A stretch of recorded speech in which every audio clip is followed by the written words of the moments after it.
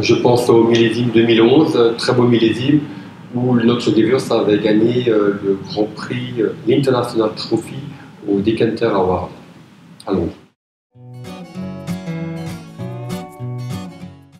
Ah, ben, je pense au Chili, hein, la, patrie de ma femme.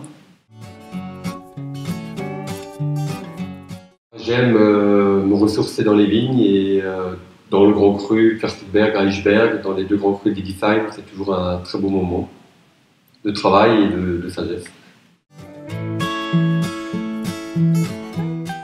Avec le Fertigberg, euh, une tagine d'agneau par exemple, avec des abricots, des amandes.